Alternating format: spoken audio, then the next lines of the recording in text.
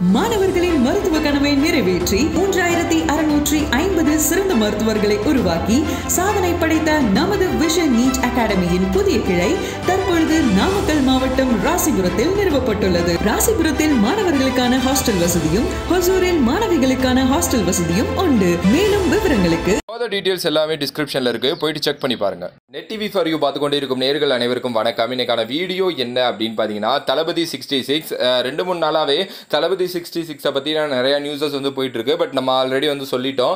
தில்ராஜ் ப்ரொடக்ஷனில் விஜய் சார் தான் வந்து பார்த்தீங்க அப்படின்னா நடிக்க போகிறாரு அதோட டேரக்டர் வந்து வம்சி பைடுபள்ளி அப்படிங்கிறது. ஸோ இதை பற்றின அப்டேட்ஸ் வந்து கூடிய விரைவில் வந்து அஃபீஷியலாக அறிவிக்க போகிறாங்க அப்படிங்கிறது வந்து நம்ம சொல்லியிருந்தோம். எப்போவுமே ஒரு விஜய் சார் படம் அப்படின்னா ஒரு படம் முடிஞ்சதுக்கு அப்புறம் தான் அடுத்த படத்தை பற்றின அறிவிப்பு வந்து வரும் ஓகேவா ஸோ நம்ம அது வரைக்கும் வந்து பொறுமையாக வெயிட் பண்ணி தான் ஆகணும். ஸோ ஆனால் இந்த காம்பினேஷனில் தான் படம் வந்து துவங்க போகிறாங்க அது வந்து ஹண்ட்ரட் பர்சன்டேஜ் கன்ஃபார்ம் ஆயிடுச்சு இப்போ என்னன்னா சோஷியல் மீடியாவில் ஒரு சில விஷயங்கள் வந்து சுற்றிக்கிட்டு இருக்கு.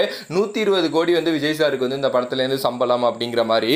ஸோ இப்போ இது வந்து உண்மையா பொய்யா அப்படிங்கிற ஒரு விவாதத்துக்குள்ளே நம்ம பெருசாக போக வேணாம். ஏன்னா இது வந்து கிட்டத்தட்ட வந்து உண்மை தான் ஓகேவா என்ன அப்படின்னா விஜய் சார் இப்போ வரைக்கும் பார்த்தீங்க அப்படின்னா அதாவது இந்த பீஸ்ட் வரைக்குமே பார்த்தீங்க அப்படின்னா எண்பதுலேருந்து எண்பத்தஞ்சு கோடி வந்து சம்பளம் வாங்கிட்டு இருக்காரு. அடுத்த படம் ஒரு தெலுங்கு ப்ரொடியூசர் உள்ளே வர்றாரு ஒரு பெரிய பேன் இந்தியன் மூவியாக பண்ண போகிறாங்க அப்படிங்கிற பட்சத்தில் கண்டிப்பாக சம்பளத்தை வந்து ஏற்றி விட தான் வந்து பார்ப்பாங்க. ஸோ சம்பளம் வந்து பார்த்திங்க அப்படின்னா நூறு கோடிக்கு மேலே ஆனால் நூற்றி இருபது கோடியா அப்படிங்கிறது வந்து தெரில ஏன்னா ஜிஎஸ்டி எல்லாமே சேர்த்து நூற்றி பதினெட்டு கோடி டு நூற்றி இருபது கோடி வந்து வரும் அப்படிங்கிற மாதிரி தான் சொல்லிக்கிட்டு இருக்காங்க. ஸோ அதனால் எக்ஸாக்டாக அவர் கைக்கு வர்றது நூற்றி இருபது கோடியா அப்படின்னு கேட்டால் கிடையவே கிடையாது. அது வந்து கம்மி தான் ஆனால் வந்து ஜிஎஸ்டியோட சேர்த்து மேபி அவ்வளோ வர்றதுக்கு வந்து சான்சஸ் வந்து நிறையா இருக்குது ஸோ விஜய் சார் மாதிரி ஒரு ஹீரோ வந்து தான் பார்த்திங்க அப்படின்னா ஃபஸ்ட்டு இந்த நூறு கோடி சம்பளத்தை வந்து தொட போகிறாரு அப்படின்னு வந்து நான் நினைக்கிறேன்.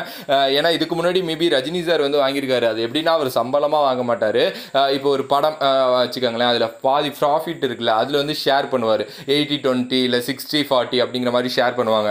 அதில் வந்து நூறு கோடிக்கு மேலேயே வந்து சில படங்களுக்கெல்லாம் வர்றதுக்கு சான்சஸ் வந்து நிறையா இருக்குது பட் அது சம்பளமாக பார்த்தீங்க அப்படின்னா நூறு கோடிக்கு மேலே வாங்க போகிறது வந்து விஜய் சார் தான். அதுவும் தளபதி சிக்ஸ்டி சிக்ஸுக்கு அப்படிங்கிற மாதிரி வந்து சொல்லப்படுது.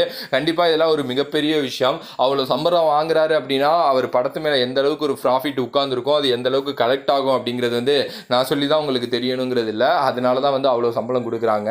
ஸோ வேற லெவல் தான் சீரியஸாகவே ஸோ நீங்கள் இதை பற்றி என்ன நினைக்கிறீங்க அப்படின்னு சொல்லிட்டு மறக்காமல் கமெண்ட் பாக்ஸில் கமெண்ட் பண்ணுங்கள் வீடியோ பிடிச்சிருந்தா like share subscribe to netty for you வேற ஒரு வீடியோவில் வேற ஒரு கான்செப்ட்லேருந்து உங்களை சந்திக்கின்றேன். அனுதன் bye from this VJ Mani.